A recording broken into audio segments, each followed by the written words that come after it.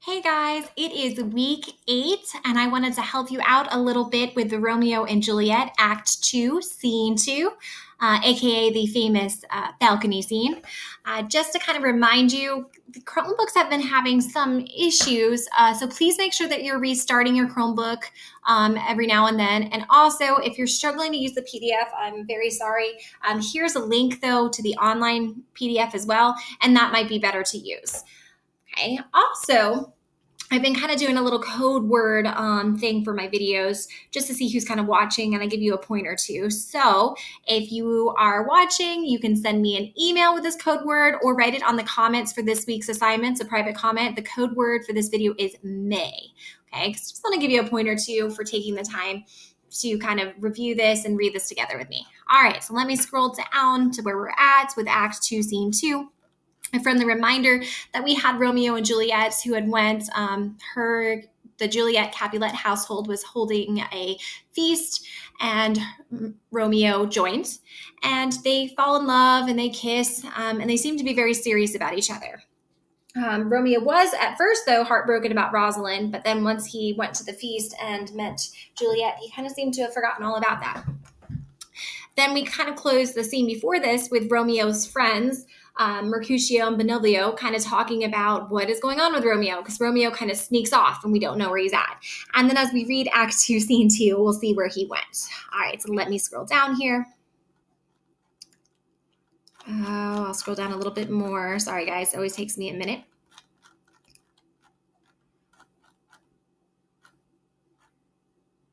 There we go. Okay, so there's quite a bit of figurative language that Romeo and Juliet are going to use, and that's kind of what the goal was for some of your assignment this week. Again, figurative language kind of gives more imagery, and we can kind of get to see in a more creative way what is being said. But that sometimes makes us kind of slow down and look at what is that maybe comparison of two unlike things what is being said with this, with this exaggeration. And then that kind of helps us see some more about the situation. Okay, so we've got Romeo, and he kind of snuck off, and they're in the Capulets' orchard.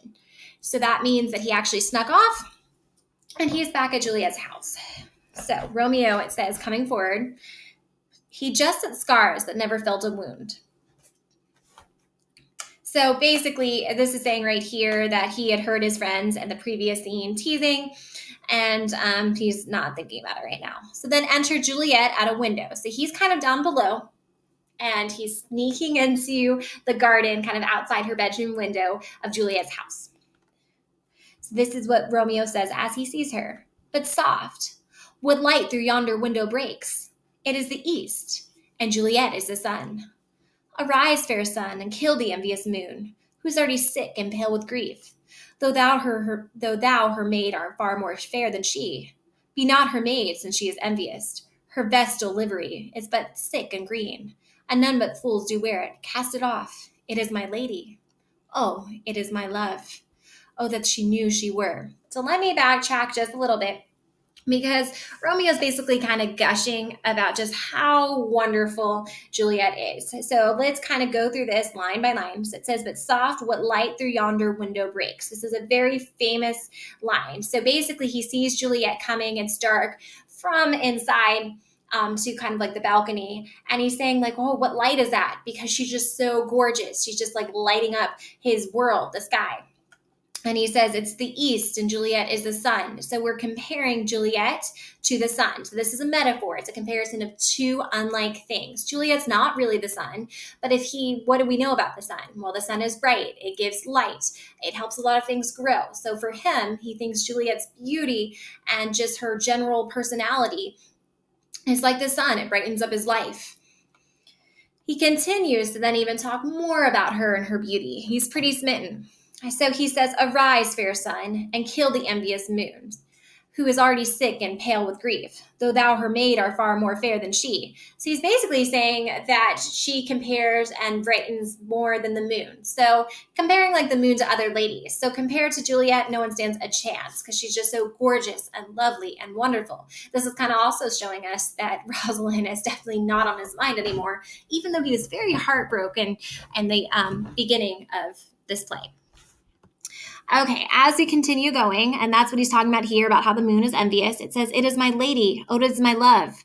Oh, that she knew she were. She speaks, yet she says nothing. What of that? Her eyes disclose, and I will never answer it. I'm too bold. Tis not to me she speaks.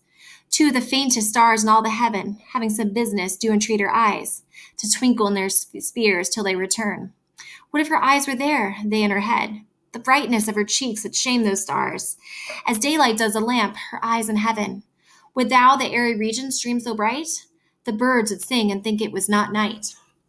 So he sees her and he says that she's not speaking, yet he can just tell by her expressive eyes that she must be thinking all of these things. He wishes he knew what it was. Then he also compares her eyes to the beautiful spears and how lovely they are and how they twinkle. And he talks about the brightness and loveliness of her cheeks and how even the stars don't stand a chance and just how wonderful that she is. Um, and how birds would even sing at her if it was not like nighttime. So again, he's kind of just hanging out, watching Juliet from afar as she's on her balcony.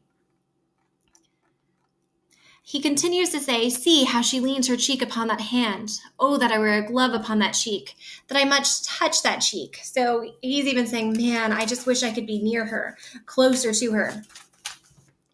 And then Juliet is going to start to speak. Now, she does not know that he is there. So she's going to be revealing some private feelings, and he's going to hear, Ah, me. And so basically, Ah, me means, Oh my. She speaks. Oh, speak again, bright angel, for thou art as glorious to the night, being over my head, as a winged messenger of heaven, onto the white upturned wondering eyes of mortals that fall back to gaze on him when he bestrides the lazy, puffing clouds and sails upon the bosom of the air. And so here he's actually using a simile. And so when he says that she speaks, speak again, bright angel, for thou art glorious to the night. So he's saying she's as glorious and as beautiful, a simile here, as like an angel. And he kind of just wants to hear what she has to say again. Uh, we have like the imagery of the lazing, puffing clouds that are going on um, as mortals just fall on their backs and just want to hear what she has to say because she's just so wonderful. So he's saying you're as glorious as an angel.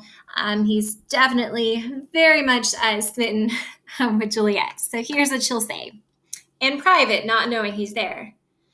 O Romeo, Romeo, wherefore art thou Romeo? Deny thy father and refuse thy name.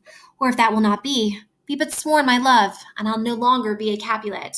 So this is a very, very famous line. So basically, she is talking about Romeo in public um, or in private, um, but kind of revealing her feelings here. She's saying like, Romeo, Romeo, you are, why do you have to be a Montague? Why are you Romeo? Deny thy father and refuse that name is saying, can you like get a new name? Do you have to be associated with your family since our, our families are enemies? Or if you cannot do that and you swear you love me, then I'll just no longer be a Capulet and I'll be with you. So she's very kind of distraught and upset about the conflict that these families are having. So again, this whole time, Romeo's in the bushes, kind of a little creepy, um, watching her. So she doesn't know he's there. So he's still kind of listening and talking to himself. So he says, Shall I hear more? And shall I speak at this? And she continues, Tis but thy name that is my enemy. Though art thou myself, though not a Montague. What's a Montague? It is not hand, nor foot, nor arm, nor face, nor any other part belonging to a man. Oh, be but some other name. What's in a name? That is what we call a rose. By any other name would smell sweet. So Romeo would, were he not Romeo called, retain that dear perfection which he owes. Without that title, Romeo, doff thy name, and for that name which is not part of thee, take all myself. So she's still kind of talking about his name. And, you know, because their families are mortal enemies. So she is saying, like, is it just a name? I mean, what is a name?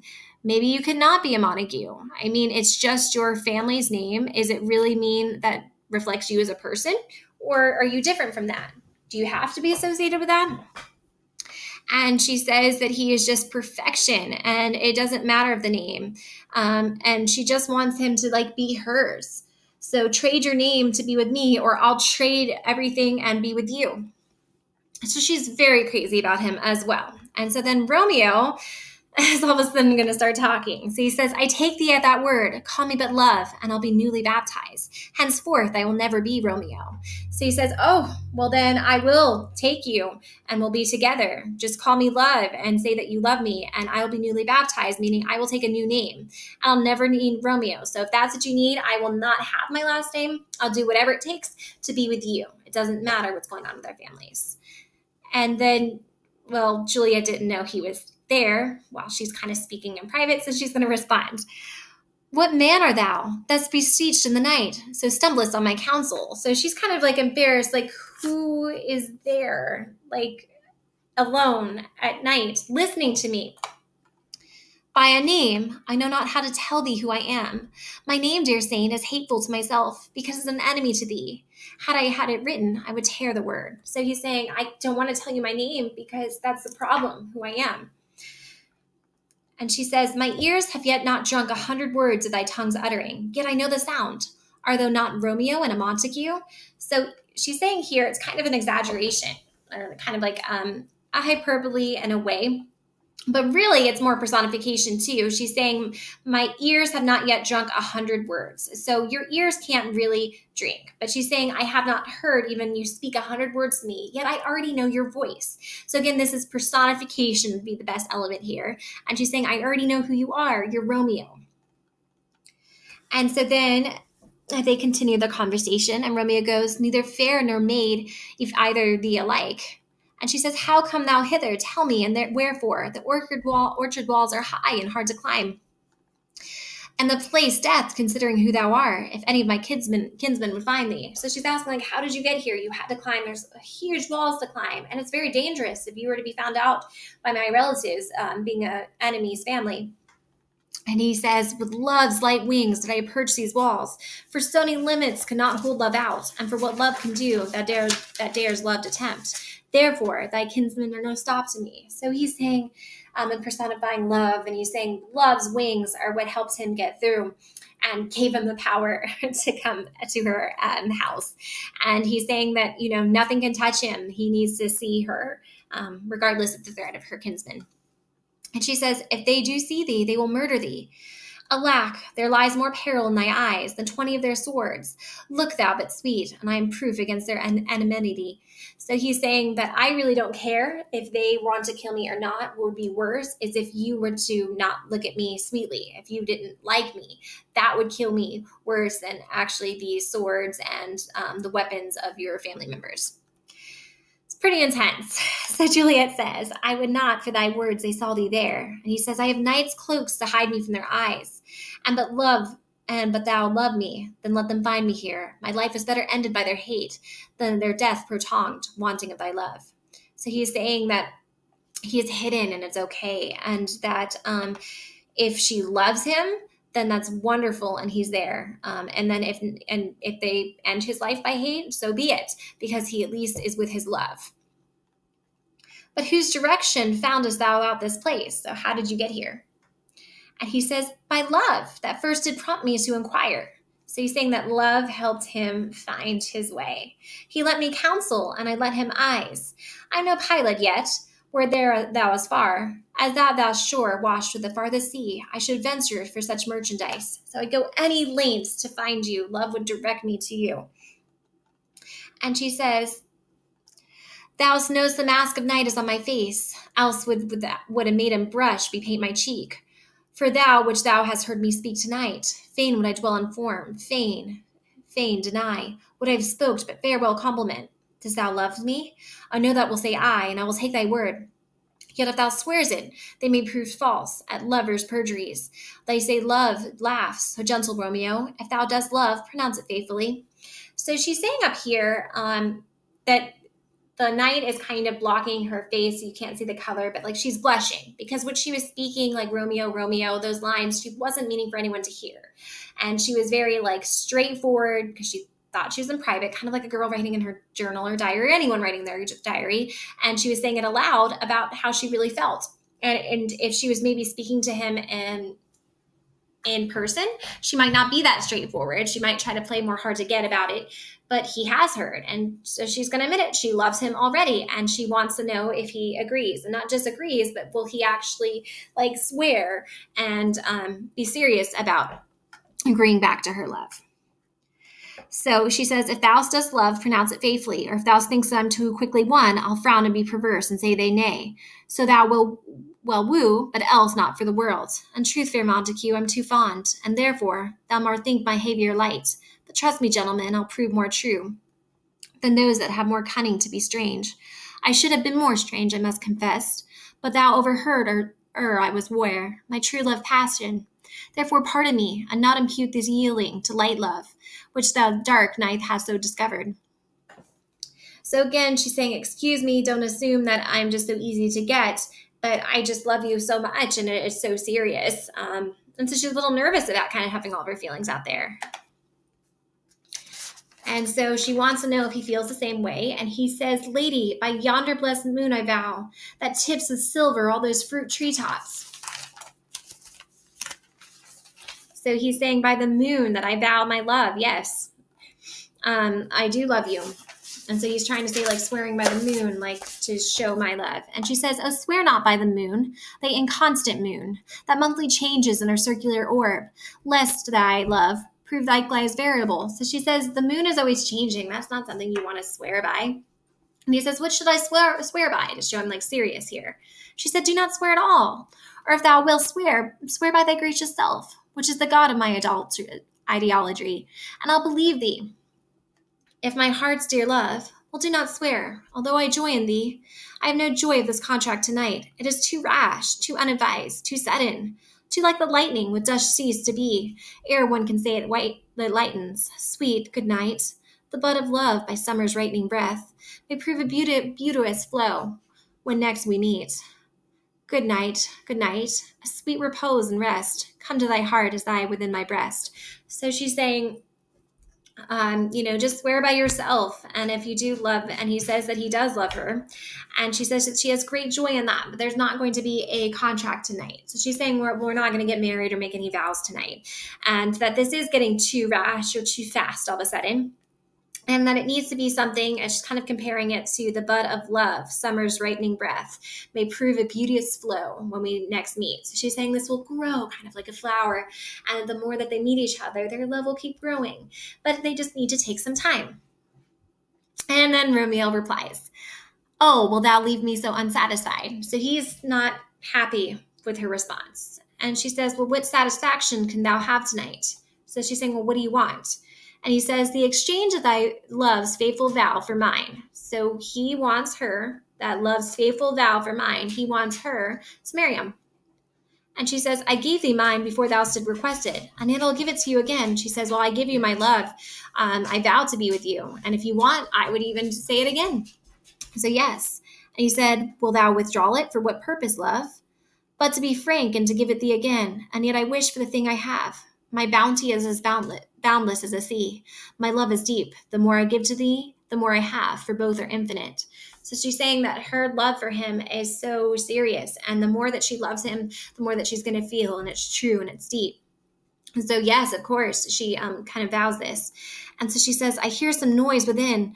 Dear love, adieu. Anon, good nurse. Sweet Montague, be true. Stay but a little, and I will come again. So her nurse is calling for her, so she has to go kind of see what's going on. And he says, Oh, blessed, blessed night. I'm afeard, being a knight, all this is but a dream, too flattering sweet to be substantial. And so he's saying, I can't believe this is real. And she said three words. So three words is like, I love you. Dear Romeo, good night indeed. If thou thy bent of love be honorable, thy purpose marriage, send me word tomorrow, by one that I'll procure to come to thee, where and what time thou wilt perform to the right, and my fortunes at thy foot I'll lay. So she's saying, I love you. Good night. And if you are being honorable and your purpose is honorable and for marriage, then let me know tomorrow and I will um, kind of go along with your plan and let me know what time you would like to get married. So we definitely moved kind of quickly. Uh, to say the least, um, and follow thee, my Lord, throughout the world. And then she's saying, I will follow you wherever uh, you tell me to go. And so then we hear the nurse again going, Madam, and Juliet says, I come anon. Be thou meanest not well, I do beseech thee. So she's still a little nervous about his um, intentions. And so we hear the nurse going, Madam, By and by I come. So she's trying to get the nurse to know that she's coming. To cease thy strife and leave me to my grief, tomorrow I send. So thrive my soul. A thousand times good night. A thousand times a word to want thy light. Love goes toward love's as schoolboy from their books but love from love towards school with heavenly looks. So he, or with heavy looks. He's saying that he's um, can't wait. It's kind of like a schoolboy who can't wait to kind of like go home um, instead of going to school. He is wanting to, uh, he cannot wait until he kind of gets to see Juliet again and they get to declare their love and their vows of marriage. And she says, Hist, Romeo, hist. Oh, for a falconer's voice. To lure the tassel great back again, Bondage is hoarse and may not speak aloud, else would I tear the cave where echo lies and make her airy tongue more hoarse than mine with repetition of my Romeo. So she's saying that his name is going to be on her um, like lips over and over again because she's going to be thinking about him. And he says, It is my soul that it calls, calls upon my name. How silver sweet sound lovers' tongues by night, like softest music to attending ears. And so he's basically saying, My soul knows you and, and we're in love, and I'm, I'm so glad that you'd call for me. And so she goes, Romeo. And he goes, My sweet. Um, and he, she says, What o'clock tomorrow shall I send to thee? And he says, By the hour of nine. I will not fail till 20 years till then. I forgot why, why I did call thee back. Let me stand here till thou remember it. I shall forget to have love till stand here, remembering how I love thy company. And I'll stay to have thee still forget, forgetting my others' homes but this. Till's almost morning, I would have thee gone, and yet no farther than a wanton's bird, then let it hop a little from his hand, like a poor prisoner to his twisted gyves, and with a silken thread pluck its back again, so loving jealous of his liberty. I would, I were thy bird. So basically, it is getting late. It's almost, I think, going to be sunrise soon. And she's letting him know what time to come um, to kind of get their marriage going tomorrow. And then talking about how he wishes he was a bird and could just be around her. And this time apart is going to seem like 20 years. So she says, Sweet, so would I. Yet I'd kill thee with so much cherishing. Good night, good night. Parting is such sweet sorrow that I shall, should say good night till it be tomorrow. And so she exits, and he goes, Sleep, dwell upon thy eyes. Peace in thy breast. Would I sleep in peace so sweet to rest? Hence will I have to my ghostly friar's close cell, his help to cave, and my dear hap to tell. So he is going to leave and go to his friar, um, kind of like a priest, to kind of figure out how they are going to go about getting married. Uh, so, as you can tell with this act we have in this scene, things have moved quite quickly. And we will see what happens um, with Friar Lawrence and the next act. All right, guys, this was Act Two, Scene Two. Again, the code word that you can email to me is May, um, and that can give you a point or two for watching the video. Let me know if you have any questions. Uh, again, with a figurative language, just spend a little bit of time to see kind of what they are saying about each other and their love uh, in this scene. All right, miss you all terribly. Bye bye.